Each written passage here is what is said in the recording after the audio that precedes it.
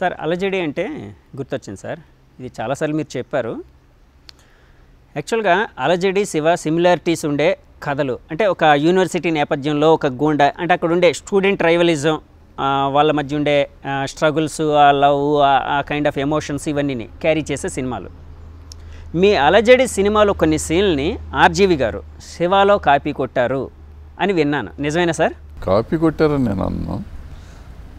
యాక్చువల్గా ఏంటంటే మనదం ఉస్మాన్ యూనివర్సిటీలో జరిగిన కథ ఆయనేమో అక్కడ లైలా కాలేజ్లో చదివాడు సో అక్కడ రంగ రాధ వాళ్ళ గొడవలు ఇవి ఉన్నాయి కదా అప్పుడు మా అక్కడ మెడ్రాస్ విజయవాడలో కూడా జరిగిన గొడవలు ఆయన తీసుకున్నాడు ఆయన అక్కడ నేపథ్యం తీసుకున్నాడు నేను ఉస్మాన్ యూనివర్సిటీ నేపథ్యం తీసుకున్నాను సిమిలర్గానే ఉంటాయి కాబట్టి ఎక్కువ సిమిలారిటీస్ ఉన్నాయి కథలో సిమిలర్గా ఉన్న షార్ట్లుగా కొన్ని వస్తే ఉంటాయి ఎందుకంటే నేను ఫైట్లు అయ్యి ముందు తీసేసాను ఓకే. నేను అనుకోవటం రాజు మాస్టర్ మాకిద్దరికి కామన్ నా సినిమాకి ఆయన సినిమాకి ఆయనే. సో కొన్ని షాట్లు ఆయన ఇక్కడ చేసినవి అక్కడ కూడా చేసినాడు ఫైట్ మాస్టర్స్ కొన్ని షార్ట్స్ వాళ్ళే పెడతారు కదా.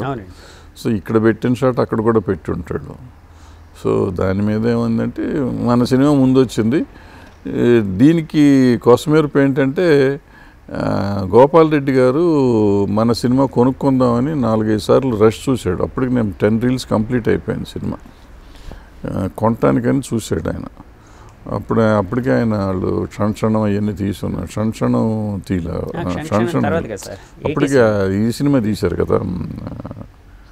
ముందు సినిమా ఏదో చేశారు ఫస్ట్.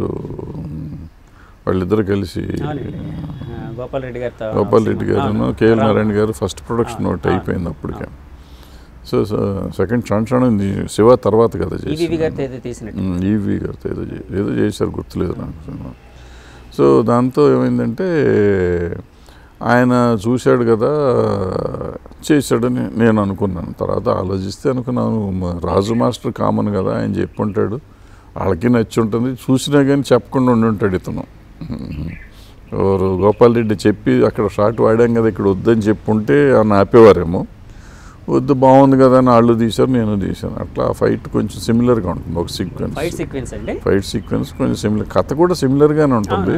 బట్ అంటే పాలిటిక్స్ అక్కడ ఇక్కడ ఒకటే కాబట్టి రఫ్గా ఒకటిగానే ఉంటుంది.